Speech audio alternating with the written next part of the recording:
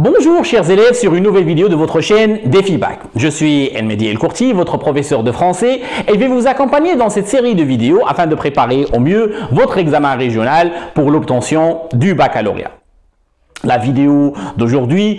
Euh, dans cette vidéo, je mets à votre disposition tout, absolument tout ce que vous devriez savoir pour euh, préparer votre examen régional correctement concernant la tragédie moderne Antigone de Jean Anouilh. Mais avant de commencer cette vidéo, je vous invite à aller voir mon autre vidéo sur les outils d'analyse dans laquelle j'apporte les spécificités du texte théâtral.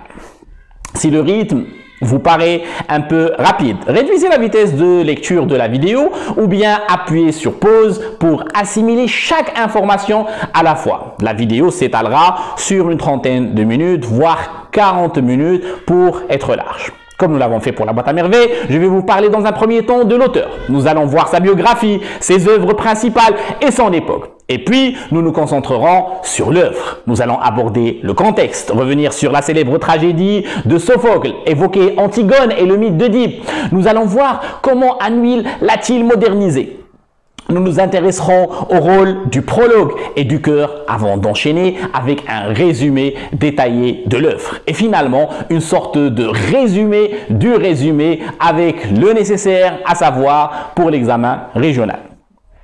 Commençons donc, chers élèves, par la biographie de l'auteur. Né le 23 juin en 1910 à Bordeaux, en France, Jean Anouilh travaille d'abord dans une agence de publicité. En 1828, pardon, 1928, euh, une représentation de Siegfried de Jean Giraudoux le décide à écrire pour le théâtre. Et dès 1930, il devient le secrétaire de Louis Jouvet. C'est un acteur et metteur en scène français, notamment, il est connu pour être le directeur du théâtre de l'Athénée. Une collaboration de courte durée en raison d'incompatibilité d'humour, ou bien d'humeur, pardon, mais qui le conduit à écrire l'Hermine.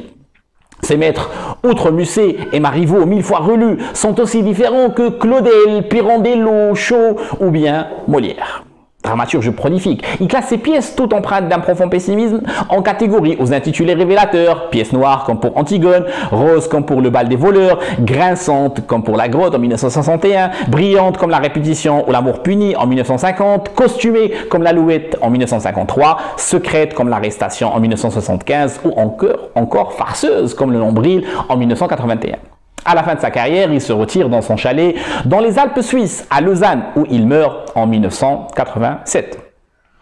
Pour ce qui est de ses œuvres, on peut notamment citer L'Hermine, écrite en 1932 et représentée la même année, La Sauvage, écrite en 1934 et jouée 4 ans plus tard, Le Voyageur sans bagage, écrite en 1936 et représentée sur scène l'année d'après, et finalement Le Bal des voleurs, écrite en 1932 et jouée 6 ans plus tard en 1938. Abordons maintenant son époque et commençons par ce qui a caractérisé l'histoire et la société de cette époque. C'est la Deuxième Guerre mondiale. Il faudrait savoir qu'un auteur est le témoin de sa société. Antigone est une pièce des années noires lorsque la France connaît la défaite face aux armées nazies. Elle tombe sous l'occupation. Paris est occupé par les Allemands depuis la débâcle de 1940 et l'armistice. La République a été remplacée par l'État français sous la direction du maréchal Pétain, comme vous le savez tous. La France est alors découpée en plusieurs régions une zone au sud sous l'administration du régime de Vichy, une zone occupée au nord par la coupe euh, ou bien sous la coupe des Allemands, une zone d'administration allemande directe pour les départements du nord et du Pas-de-Calais et qui sont rattachés à la Belgique et une zone annexée au Reich, l'Alsace-Lorraine et enfin une zone d'occupation italienne dans le sud-est Savoie refusant l'armistice et le gouvernement de Vichy. C'est ce qui nous intéresse. Le général Charles de Gaulle lance un appel aux Français le 18 juin 1940 depuis Londres. L'année 1942 marque un tournant décisif dans cette période. Les rapports de force sont modifiés car les États-Unis viennent de déclarer la guerre à l'Allemagne. Pour comprendre Antigone, il faut lier la pièce à un contexte de guerre où passivité et résistance se côtoient, s'affrontent. Pour ce qui est de la littérature et des arts à cette époque, c'était l'essor du théâtre de l'absurde et de la littérature engagée. L'évolution du genre théâtral au XXe siècle porte la marque des multiples bouleversements de ce siècle. Bouleversements techniques d'abord, qui offrent progressivement de nouveaux moyens au spectacle, et bouleversements politiques et sociologiques, fruits notamment des deux guerres, des deux guerres mondiales. Si dans la première moitié du siècle, des auteurs comme Jean Giraudoux ou Paul Claudel combinent des influences multiples, antiques, étrangères et notamment orientales, les horreurs de la guerre au milieu du siècle, le totalitarisme, la sensation d'impuissance et d'irrationalité nourrissent une angoisse existentielle qu'exprime la littérature de l'absurde, dont les principaux représentants sont Samuel Beckett, Eugène Ionesco et bien sûr Jean Anouilh. Les interrogations de cette époque ont donné lieu à un théâtre plus politique, plus engagé avec Jean-Paul Sartre et Albert Camus. C'est le moment de commencer maintenant la deuxième partie de la vidéo qui va traiter de l'œuvre. Et on va revenir dans un premier temps sur le contexte pour le peaufiner par rapport à l'œuvre. S'il est bien une pièce qui a soulevé et soulève encore la polémique, c'est l'Antigone de Jean Anouilh. La polémique concernant Antigone découle tout naturellement du, contexte euh, dans lequel pardon, la pièce a été composée. En effet, elle est écrite dans le Paris de 1942, occupé par les troupes allemandes, quelques semaines après l'attentat d'un jeune résistant français, Paul Colette, contre des collaborateurs, dont notamment Pierre Laval et Marcel Déa, qu'il va blesser. Beaucoup ont vu et voient encore dans cet acte voué à l'échec une forme d'héroïsme vain qui aurait inspiré Anouilh pour le personnage d'Antigone. Prudence, toutefois. Puisque Jean Anouilh lui-même euh, avait écrit concernant les motivations de cette pièce, je le cite, L'Antigone de Sophocle, lu et relu et que je connaissais par cœur depuis toujours, a été un choc soudain pendant la guerre, le jour des petites affiches rouges. Je l'ai réécrite à ma façon avec la résonance de la tragédie que nous étions en train de vivre. Ces avis rouges, chers élèves, qui inspirèrent un célèbre poème d'Aragon à la gloire de la résistance, étaient placardés dans toute la France par le régime de Vichy et les nazis. Et elles traitaient de l'exécution de 23 résistants que l'occupant faisait passer pour des terroristes aux yeux du peuple français. Sans nier l'influence du contexte historique, Anouilh ne fait donc pas référence vraiment à l'acte de Paul Colette.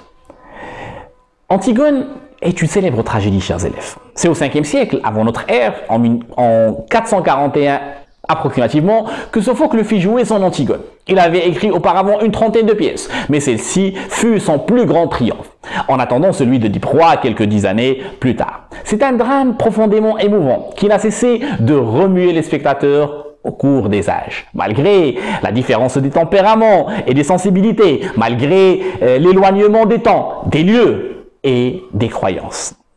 Et pour bien comprendre cette histoire, il faut revenir sur le mythe d'Oedipe. Je prends mes aises pour vous le raconter.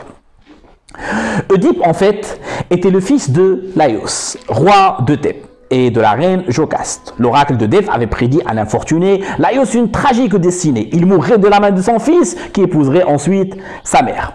Quand son enfant naquit, il l'abandonna sur le mont Cithéran en l'accrochant à un arbre par la cheville. Il serait ainsi à la merci des bêtes sauvages. Heureusement pour l'enfant, des bergers le recueillirent et lui donnèrent le nom d'Oedipe, qui signifie pied enflé. Ils le confièrent au roi de Corinthe, Polybe, et à sa femme, Mérope. Ces derniers vont l'élever comme s'il était vraiment leur fils. Un homme un jour accusa Oedipe au cours d'un banquet d'être un enfant supposé. Oedipe décida donc de partir pour Delphes afin de savoir de l'oracle si Polybe et Mérope sont bien ses vrais parents. Il apprenait donc la terrible prédiction. Il tuerait son père et épouserait sa mère. Atterré, il décida de fuir ce qu'il prenait pour ses parents sans savoir qu'il courait en fait au devant de son destin. En cours de route, il va se quereller avec un voyageur qu'il va tuer. C'est son père Laios. Il va arriver aux portes de la ville de Thèbes, alors plongé dans la famine et menacé par un monstre terrifiant, le sphinx ou la singe, qui dévorait tout ce qui ne pouvait résoudre l'énigme qu'il leur proposait. Oedipe va en débarrasser la cité. Les citoyens reconnaissant le prirent pour roi et c'est ainsi qu'il épousa la veuve du roi défunt, Jocaste, sa mère. Quatre enfants naquirent de cette union, deux fils, Éthéocle et Polynice, et deux filles, Antigone et Ismène. Oedipe apprit un jour l'horrible vérité de la bouche du devin Tirésias, le vieux prophète aveugle. Il va se crever les yeux tandis que Jocaste se donnait la mort. Il va quitter la ville de Thèbes et errer, guidé par sa fille Antigone. Quant à ses deux fils, ils vont proclamer leur droit au trône et décider de régner chacun à leur tour pendant une année. Mais Éthéocle va refuser de rendre à Polynice le pouvoir annuel qui lui revenait et il va le chasser de la ville. Celui-ci se réfugia à Argos et vint assiéger Thèbes avec six autres chefs argiens. Les deux frères s'entretuèrent. Créant, le frère de Jocaste, prit alors le pouvoir. À Aéthéoque, qui avait combattu pour défendre la cité contre les assaillants, furent accordés des funérailles grandioses, tandis que le corps de Polynice fut destiné à être abandonné sans sépulture aux chacals et aux oiseaux de proie. Tel fut le décret de Créant. Quiconque oserait lui rendre les devoirs funèbres serait mis à mort. Il bravait ainsi toutes les lois divines et sacrées condamnant l'âme de Polynice à errer éternellement sans jamais trouver le repos ni pouvoir entrer dans le royaume des morts. Antigone et Ismène apprirent avec horreur la décision de Créant. Antigone ne voulut pas abandonner son frère et préféra affronter la mort pour accomplir les rites funéraires. Ismène tenta de la raisonner et de la dissuader de s'opposer au pouvoir, mais en vain, elle ensevelit le corps de Polynice au prix de sa vie. Allez, Comment a fait donc Jean Anouilh pour moderniser cette tragédie? Cette pièce s'éloigne des codes de la tragédie antique ou classique. En effet, de nombreux anachronismes, un anachronisme est une erreur de chronologie qui consiste à placer un concept ou un objet qui n'existait pas encore à l'époque illustré, illustré par l'œuvre. Donc, il y a plusieurs anachronismes qui émaillent la pièce. Antigone se, se présente aussi comme un tout. Il n'y a pas de division en actes ni en scène, mais simplement des entrées et des sorties de personnages. Le style est aussi courant voire familier des fois, pour certains personnages comme les gardes ou bien la nourrice. Intéressons-nous maintenant au rôle du prologue et du cœur dans cette pièce. Et prêtez-moi l'oreille, s'il vous plaît. À quatre reprises, le personnage qu'il appelle au début le prologue, puis le cœur, va intervenir dans Antigone. Le prologue explique dans un premier temps la pièce, et présente les personnages. Le cœur expose au nom de l'auteur sa conception de la tragédie, joue le rôle de la conscience morale de Créant et, en troisième lieu, il vient tirer enfin la morale de l'histoire. Dès le début, le prologue nous prévient. Cette histoire célèbre depuis quelques 3000 ans L'auteur ne va pas se donner le ridicule de nous la faire découvrir. S'insérant dans un mythe antique, il ne prétend pas davantage en modifier le déroulement. Tout ce qu'il demande, c'est que les acteurs jouent les jeux. Voilà, ces personnages vont vous jouer l'histoire d'Antigone, comme le dit le prologue. Et que chacun joue son rôle jusqu'au bout, car les jeux s'en fait. Il n'y a rien à faire. On dirait presque que le prologue éprouve un cruel plaisir à tout nous annoncer à l'avance. La mort d'Antigone, la mort d'Aimant et de sa mère, et à ne laisser la moindre chance à l'espoir. Tant pis pour nous, il faudra chercher ailleurs que dans la surprise l'intérêt du spectacle. Je vous invite à mettre la vidéo en pause pour découvrir ce tableau, chers élèves, présentant les personnages, leur portrait physique et moral, leur attitude et les relations entre eux, et finalement leur destin, comme présenté par le prologue. Pour ce qui est du cœur, maintenant, au milieu de la pièce, au moment où les gardes viennent d'arrêter Antigone, c'est le moment de la crise que le cœur porte-parole de l'auteur, vient nous dire dans un style familier et quelquefois en jouant sur les mots ce qu'il pense de la tragédie. C'est propre, la tragédie. C'est reposant, c'est sûr, vous vous rappelez de ces mots. Dans son langage, on aborde des adjectifs à double sens. C'est cela qui est commode dans la tragédie. On est tranquille. Comment on est tranquille Ça, c'est une autre affaire. Le cœur veut nous expliquer la simplicité et la nécessité du mécanisme tragique. Allez, d'image tout emprunté au domaine de la machine. C'est le champ lexical dominant. Le ressort est bondé. Cela n'a plus qu'à se dérouler tout seul. Cela démarre. Cela roule. C'est minutieux. Bien est. Il nous laisse entendre qu'un rien suffit à son déclenchement. Tous les rouages sont prêts à fonctionner et rien ne peut les enrayer. La machine infernale éclatera à l'heure dite. Tout a été décidé d'avance et le dénouement est irrémédiable. C'est bien là, en effet, le vrai caractère de la tragédie. Elle est propre, elle est pure, parce qu'elle est fatale. Au contraire, le drame est impur et Anouilh apporte ici une contribution intéressante à la comparaison entre les deux genres. Bien entendu, elle est tout à l'avantage de la tragédie. En effet, le drame est impur parce qu'il est le lieu de la contingence, euh, du hasard. Un événement est contingent quand il y aurait quand il aurait pu ne pas arriver. Dans le drame, il y a des accidents. Dans le drame, cela devient épouvantable de mourir, comme un accident, dit le cœur. Dans la tragédie, tout est nécessaire. Tout y est réglé par une logique implacable. Dans le drame, au contraire, il y a des retournements imprévus de situations qui peuvent altérer, suspendre ou arrêter la marche du mécanisme. Bref, des coups de théâtre. Et puis, on se trouve en présence de personnages simples, voire simplistes et fortement contrastés. Il y a les bons et les méchants, les vengeurs et les traîtres. Dans la tragédie, il n'y a pas de recours, pas de gendarme, pas de Deus ex machina, pas d'espoir. Cet espoir qu'Anouil comme Antigone traque impitoyablement. C'est pourquoi on est tranquille. La trappe ne peut pas se refermer. On est sûr que la pièce finira mal. Voilà pourquoi le cœur, qui joue le rôle de commentateur dans ce cas, lors du dénouement, soulignera non la violence de l'histoire ou son horreur, mais le repos qui sera le lot de tous les personnages. Tous ceux qui avaient à mourir sont morts, et Crayon, dont le tour n'est pas encore venu, n'aura pas un cri de révolte ou de désespoir. Un grand apaisement triste tombe sur. Et les vagues de l'oubli vont peu à peu tout recouvrir. Entre-temps, le cœur va intervenir pour faire renoncer Crayon à sa décision. Il lui fera des suggestions qui toutes se révéleront vaines. Il représente la conscience morale de Crayon. Maintenant, c'est le moment de vous faire un résumé de l'œuvre. Mais pour le coup, c'est un résumé qui est assez détaillé. Un autre résumé vous sera dévoilé à la fin de la vidéo à connaître et apprendre. C'est ce qui va être nécessaire euh, le jour de l'examen régional. Revenons maintenant à notre résumé détaillé et intéressons-nous dans un premier temps à l'exposition.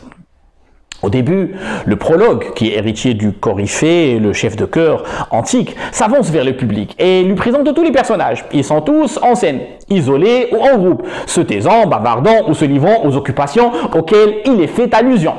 Le prologue les désigne et nous indique brièvement leur caractère et leur rôle. Il passe ainsi successivement en revue Antigone, la petite maigre qui pense qu'elle va mourir, sa sœur, la belle, l'heureuse Ismène qui parle avec aimant, le fiancé d'Antigone, le roi Créant, le père démon qui, près de son page, médite sur la tâche difficile de conduire les, les, hommes, sa femme Eurydice qui ne lui est d'aucun secours et ne fera que tricoter pendant toute la tragédie. La nourrice d'Antigone, le messager qui interviendra au dénouement, enfin les trois gardes auxiliaires du pouvoir qui jouent aux cartes dans leur coin. En tout, 11 personnages.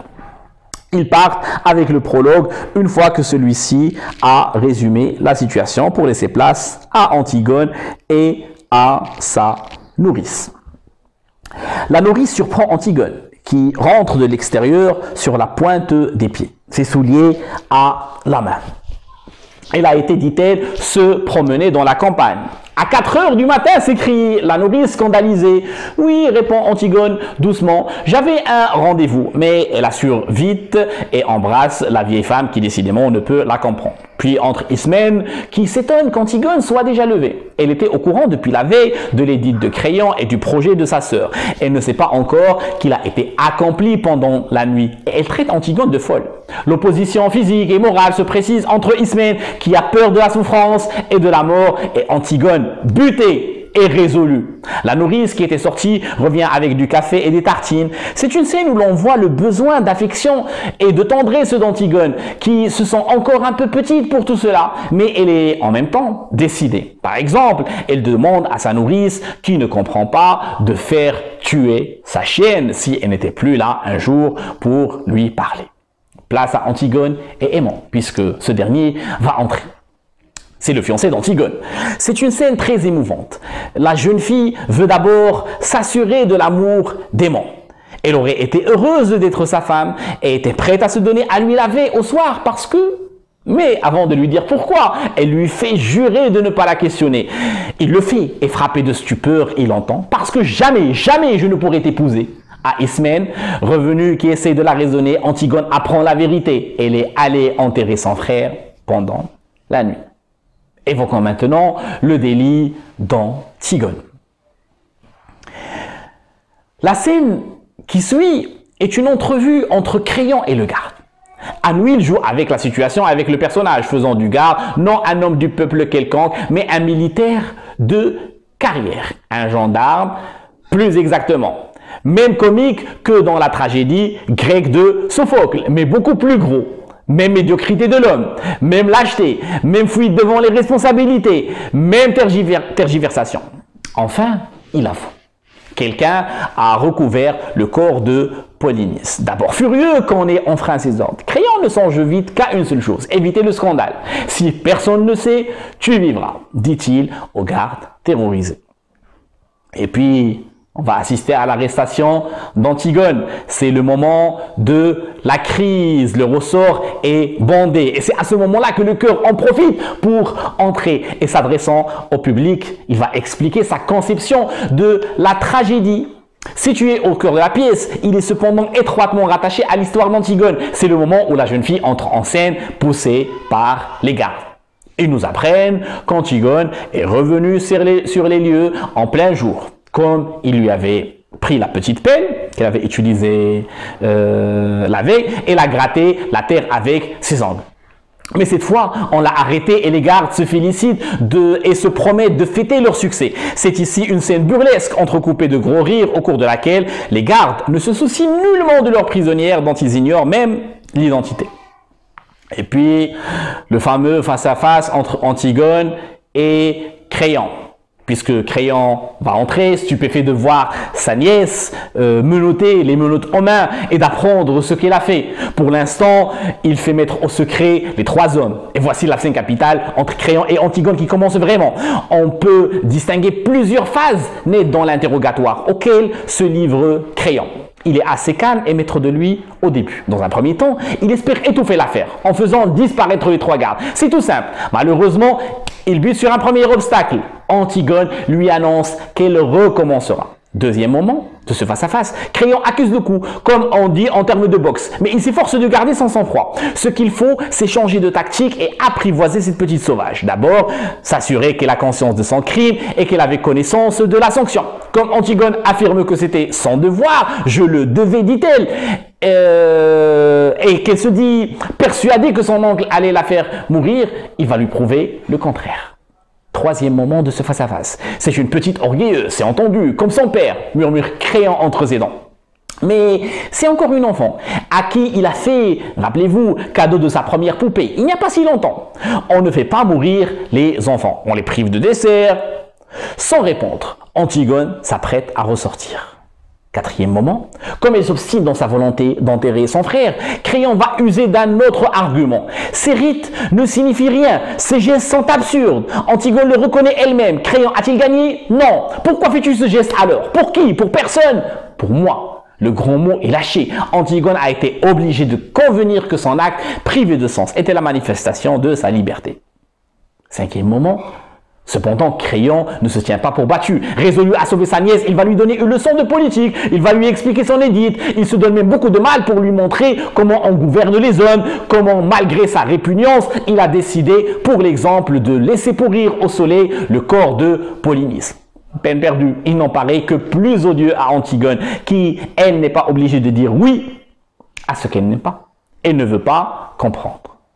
Sixième moment de ce face-à-face, de plus en plus exaspéré, Créon va maintenant abattre ses dernières quatre. Il lui raconte la vraie histoire d'Éthéocle et de Polynice. Polynice, auquel Antigone avait voué une tendresse particulière, était un vaurien qui avait levé le poing contre son père. Quant à Éthéocle, le bon fils, qui est un héros et un saint pour la ville de Thèbes, il ne valait pas plus cher que son frère. Deux voyous, deux larrons en foire, qui s'étaient entretués pour un règlement de compte. Et Créon ajoute qu'il ne sait même pas, tant ils étaient méconnaissables, quel est celui des deux corps qui a eu droit à un tombeau de marbre. Cette fois, Antigone est ébranlée devant l'évidence de l'indignité du frère pour qui elle allait mourir, mise en présence de la comédie dont elle allait être la dupe. Elle s'apprête comme une somnambule, rappelez-vous, à regagner sa chambre. Septième moment, Crayon qui respire et qui croit assurer sa victoire, lui fait le tableau de la vie qu'il attend, de son mariage, de son avenir avec Aimant, de ses longues années de vieillesse où l'on se repose sur un banc devant sa maison. La vie, ce n'est peut-être tout de même que le bonheur, le maladroit. Il suffit du mot bonheur pour rendre Antigone à elle-même. Que signifie-t-il ce bonheur dérisoire, ce bonheur d'égoïste et de retraité que lui offre Crayon Que signifie-t-elle cette vie de mensonge et de compromission Cette vie d'habitude et d'usure où la politique s'appelle la cuisine et le mariage, la satiété? À partir de ce moment, qui constitue le tournant de la scène, c'est Antigone qui prend l'initiative et Crayon qui essaie vainement de la faire taire. Soudain, comme piquée par un serpent, elle se révolte contre ce sale bonheur, ce sale espoir. Ce n'est plus la petite fille têtue, mais froide du début. C'est désormais une furie qui hurle et va ameuter toute la ville. met entre alors, elle veut partager le sort de sa sœur. Trop tard, lui répond Antigone, tu as choisi la vie et moi la mort. Insulté, provoqué, pressé à bout, Créon appelle ses gardes. Enfin Créon, s'écrie Antigone, dans un grand cri soulagé, et au reproche du cœur, aux supplications des mots qui entraient en criant, Créon répond qu'il n'y avait rien à faire et qu'Antigone voulait mourir. Désespéré, Aimant sort comme un fou. Il y a quelqu'un qui m'observe depuis tout à l'heure, c'est assez intéressant. la mort d'Antigone maintenant. Antigone reste seule avec le garde indifférent à son sort. Le garde parle de sa seule, de son avancement et lui apprend qu'elle va être enterrée vivante au tombeau, au lit nuptial, au ma demeure souterraine, s'écrit Antigone. C'est magnifique. Tout ce qu'elle demande, c'est d'écrire une dernière lettre à Aimant. Elle commence à dicter au garde cette confession poignante de quelques lignes où elle avoue qu'elle ne sait plus pourquoi elle meurt et demande pardon au sien. Mais la porte s'ouvre et les autres gardes viennent la chercher. Nous ne la verrons plus c'est le messager qui vient annoncer la mort d'Antigone, pendu dans sa tombe au fil de sa ceinture. Et c'est le démon qui, après avoir craché au visage de son père, s'est tué avec son épée. Il restait à Créon une nouvelle à apprendre, la mort de sa femme Eurydice qui s'est coupée la gorge quand elle a su la mort de son fils.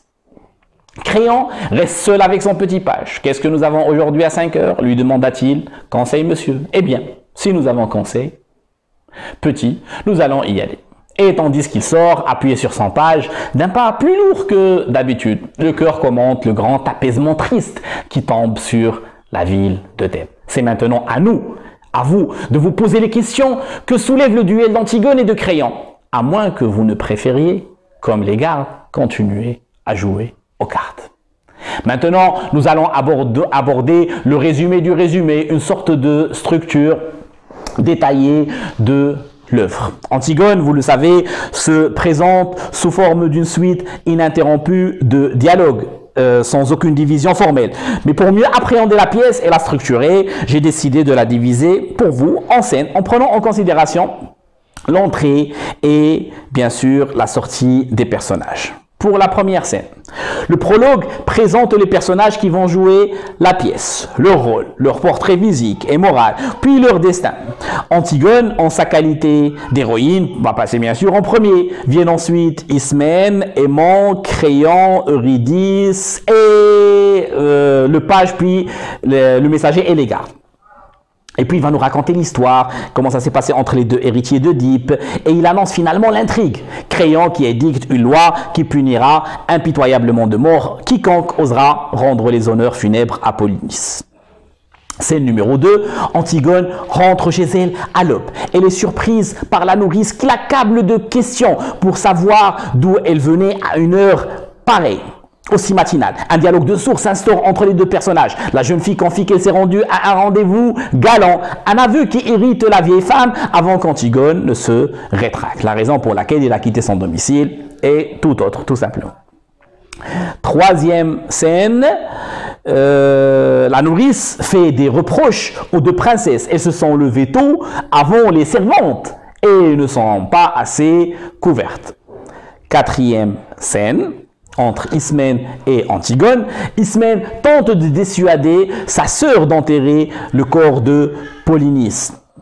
Scène numéro 5, Antigone qui a explosé de colère contre Ismène se montre très calme en présence de sa nourrice. Elle se trouve un refuge auprès de cette dernière et cherche le réconfort. Au fil des répliques, la jeune fille dévoile partiellement son projet. Mais la nourrice ne saisit pas le sens caché des propos d'Antigone. La nourrice accepte d'exaucer les vœux d'Antigone, même si elle ne comprend pas le mystère qui entoure ses propos.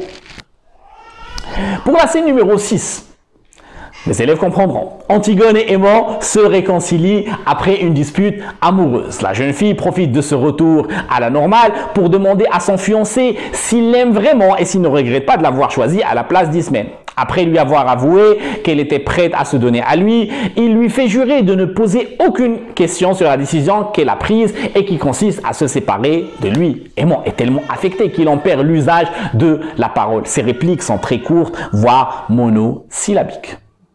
On passe maintenant à la scène numéro 7, dans laquelle Ismène tente une deuxième fois de raisonner sa sœur pour qu'elle renonce à sa folie. Mais Antigone se montre inflexible. De toute façon, sa tentative est vaine. Avant de quitter son aîné, Antigone lui apprend qu'elle a déjà accompli son acte. Elle a enfreint le décret de Créon en enterrant Polynice. Pour la scène numéro 8, le garde Jonas, ou bien Jonas, effrayé, vert de peur, entre en scène pour annoncer à Crayon que le cadavre de Polynice a été couvert de terre, peut-être par un enfant à cause de la petite pelle retrouvée à côté du cadavre. Hors de lui, le roi donne des ordres pour qu'on retrouve immédiatement celui qui a osé enfreindre sa loi. Mais le maître de Thèbes retrouve peu à peu son calme. Il enjoint aux gardes de ne pas divulguer le secret et le menace de mort en cas de désobéissance.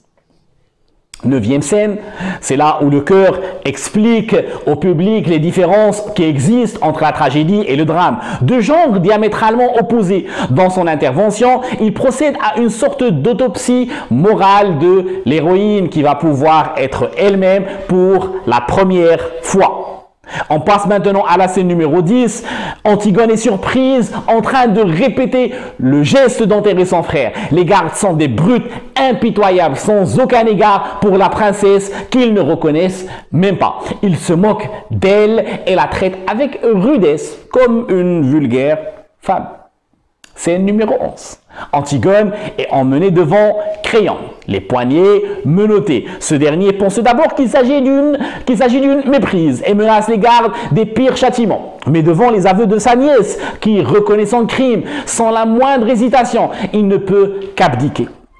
Il essaye de la protéger, il enferme les gardes et ordonne aux pages de les surveiller de près. Pour la scène numéro 12, Créon fait tout ce qui est en son pouvoir pour sauver Antigone. Mais cette dernière continue à reconnaître sa culpabilité avec entêtement. Pour montrer à sa nièce que son acte est absurde, le roi lui révèle certains secrets de famille particulièrement choquants qui trahissent l'horreur du monde politique. La cuisine. Profondément touché par ces déclarations, Antigone s'apprête à se retirer quand Créon commet l'imprudence de lui exposer sa conception du bonheur. En entendant ce pauvre mot, elle se révolte contre la vie médiocre que lui promet son oncle, qui tente vainement de la réduire au silence. Pour la scène numéro 13. Ismène, qui s'est au début opposé au projet de sa sœur, change d'opinion. Elle se confond en excuses et se montre prête à partager le sort d'Antigone. Mais cette dernière rejette son sacrifice pour ne pas l'impliquer dans une affaire qui la dépasse.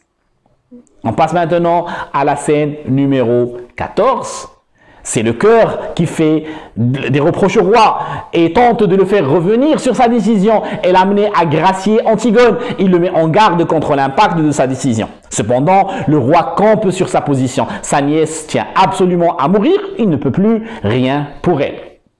C'est numéro 15. Aimant qui implore désespérément son père de sauver Antigone. En vain, le cœur tente de son côté d'attendrir le roi, mais il n'aboutit à aucun résultat non plus. Le sort de l'héroïne est scellé. Car dehors, la foule hystérique réclame sa mort. C'est numéro 16. Le cœur a pitié d'Aimant et demande à Crayon de faire quelque chose, mais ce dernier avoue qu'il ne peut plus rien pour lui. Scène numéro 17. Le garde informe Créon que les gens sont en train d'envahir le palais. Antigone demande à Créon de tout faire cesser puisqu'il a obtenu sa mort. Créon ordonne alors qu'on vide le palais. On approche de la fin, chers élèves. Maintenant, on est au niveau de la scène 18 dans laquelle Antigone reste seul avec le garde. Ce dernier est indifférent à son sort et ses souffrances. Il ne pense qu'à sa promotion et aux avantages matériels qu'il va en tirer. Il ne l'aménage pas quand il lui dit qu'elle sera enterrée vivante, par exemple. Antigone accueille cette nouvelle avec un calme digne d'une héroïne tragique. Elle demande au garde d'écrire une lettre à Aimant où elle exprime son regret d'avoir commis un geste absurde. Elle convainc le garde moyennant une bague en or. Cette lettre n'arrivera jamais à son destinataire car Antigone va mourir avant de donner le nom au garde. Scène 19. 19e, scène maintenant. Le cœur se manifeste pour dire qu'il n'y a plus rien à faire pour Antigone. Il sera immédiatement suivi par le messager qui fait le récit des événements qui se sont déroulés dans les coulisses. Antigone s'est pendue avec les fils de sa ceinture dans le tombeau. Aimon au comble du désespoir, menaça de tuer Crayon. Il lui cracha au visage, puis se donna la mort à son tour. 20e scène, avant-dernière scène par rapport à cette division que je vous ai faite. Le roi va rentrer au palais complètement effondré. Là, le cœur lui annonce une terrible nouvelle. La reine Eurydice s'est donné la mort après avoir appris le suicide de son fils. La solitude du roi est insoutenable. Mais la raison d'État le pousse à faire passer son rôle de roi avant toute autre considération. Dernière scène, nous avons le cœur qui se manifeste pour la dernière fois. Il parle de ceux qui sont morts et de ceux qui restent en vie, ainsi que des conséquences de la tragédie sur la ville de Thèbes. La pièce s'achève sur les gardes qui, indifférents à ce qui se passe autour d'eux, continuent à jouer aux cartes. Voilà, c'est la fin de la vidéo, mais je tiens à apporter votre attention sur différents éléments. Un document sur les spécificités du texte théâtral est disponible, je, vous l'ai déjà envoyé, mais la vidéo correspondante est disponible sur euh, ma chaîne YouTube. Vous pourriez aller la voir en tout cas par rapport à mes élèves du groupe scolaire Tiazi, en fonction de l'emploi du temps que je vous ai donné. Et il y a une autre vidéo, mais cette fois c'est sur une production écrite dans laquelle on parle des gains et des pertes des différents personnages de cette tragédie. Et c'est une vidéo, même si c'est une vidéo de production écrite, je pense qu'elle va être assez intéressante pour mieux comprendre la pièce d'Antigone et les ressorts sur lesquels se joue cette tragédie moderne de Jean Anouilh. Maintenant, comme d'habitude, je vous dis ciao